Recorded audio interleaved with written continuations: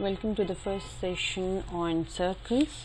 Before moving on to the theorems, as in the chapter given, we'll be reviewing uh, reviewing the terms. Uh, few of them which you might have um, learned previously, and few might just be new to it. What is a circle? circle in itself, actually, if you see the definition of it, says it is. Um, sorry, let me just draw when I say this is a point. It is a collection of all the points which is drawn at a given distance at a fixed distance from a given point. Suppose this point which I mark as O and all the rest of the points which I have drawn this one they are all equidistant from that point O and if you join these points I'll try joining them in a free hand. If you join them the formation you get becomes a circle though it might is not looking that good. But now this is a circle and if I draw it properly would simply be like this. And it will be all equidistance from the center all these points are equidistant. I'll clear that part which I had drawn freehand. So we now know what is a circle. It's a locus of uh, points actually. Now we also know these points this distance from the center to the point on the circle. That's ON, OM, OP they're all referred to as the radii of the circle okay then now we come across or move on to learn about the interior and the exterior of the circle that also I think you know. Still we quickly review them. This is the interior the part inside the circle is interior the part um, outside the circle is the exterior of it. So we write interior and exterior of the circle and then we move on to a chord. I draw another circle to explain the chord. This is a chord. When you join a line segment which is joining any two points on the circle. This is a chord anywhere you can draw actually. Anywhere of any length. And even the one which I'm drawing now which passes through the center that also is a chord and that is actually the longest chord. So the longest chord is the diameter.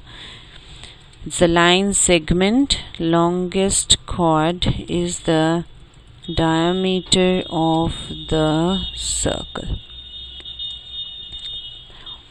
Now you know when the two points which a line segment which is joining two points on the circle what else? Yeah we take on was a minor sec sector uh, sorry minor arc and major arc minor and major arc. It's a part of a circle. Any part of a circle is called an arc. Suppose I again draw a small circle here.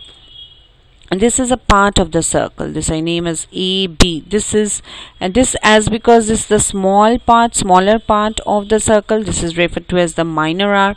And this rest of them which is referred to as major arc will be you know will be written like this and the minor will be written as such.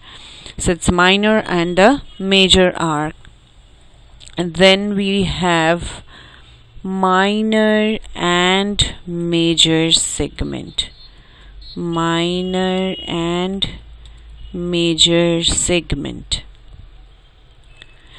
Let's understand this I think is a new term to you when I draw a chord this portion which is formed including the chord and this small arc. As because this area is this part is formed with the minor arc and the chord this is referred to as the minor segment and the rest of the part of the circle is remember uh, reg regarded as the sorry regarded as the major segment. So segments are formed with chords and arc. We also now move on to minor and major sector. What is minor and major sector? Let's look at the figure understand it then I write it down there.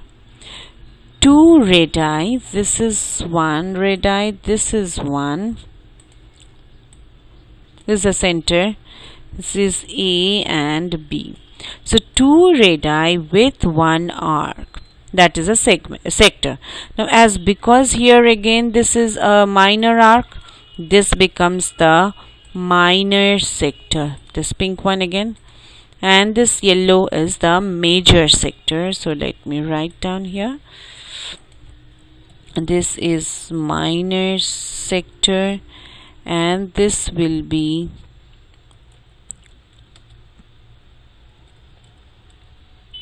major sector. They are formed radii with uh, sorry radii with arc. Then comes what is a semicircular region? When I draw a circle and the chord which divides the circle into two equal halves. This both these parts are regarded as the semicircular region. Each of them, this pink and the yellow part, they both are a semicircular region. What is a central angle?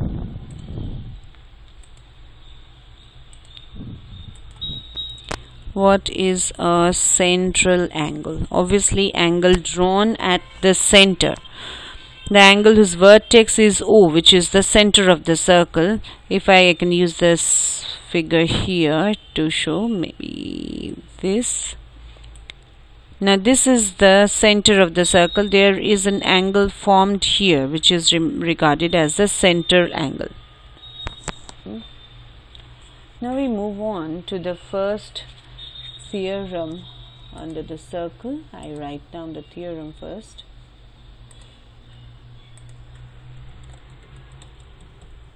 Equal chords of a circle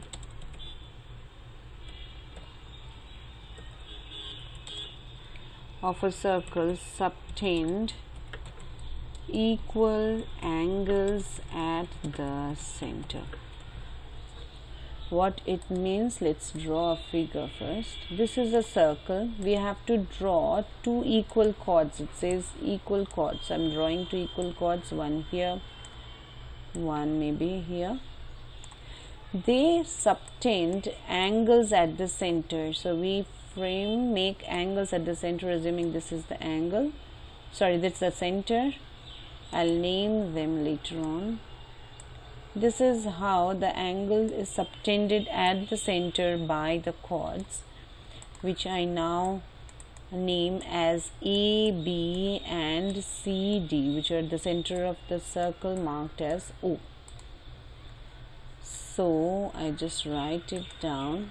It is given that sorry this AB is equal to CD what do we have to prove is angle at the centers that is AOB is equal to angle COD. I don't think that will be much difficult for us to prove.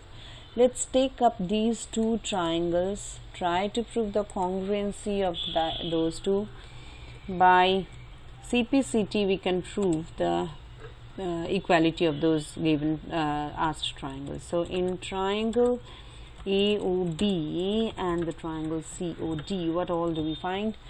We find that OA is equal to OC. They are the radii of the circle. Sorry. Similarly, OB will be equal to OD for the same reason they are also the radii. Now it also says AB is equal to CD. It was given to us. So by SSS congruency,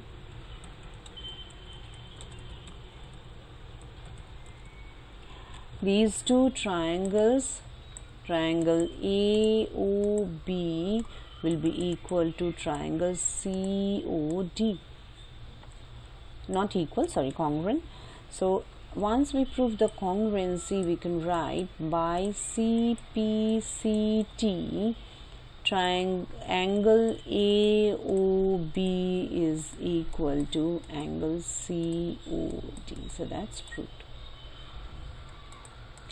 now let's take up the converse of this theorem I write the converse theorem here and we'll be discussing how that can be proved. If the angles subtended by the chords of a circle at the center are equal then the chords are equal. We'll be drawing a similar figure.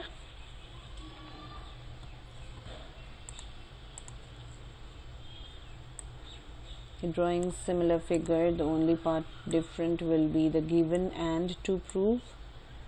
I name them similarly. I also draw the angles at the center.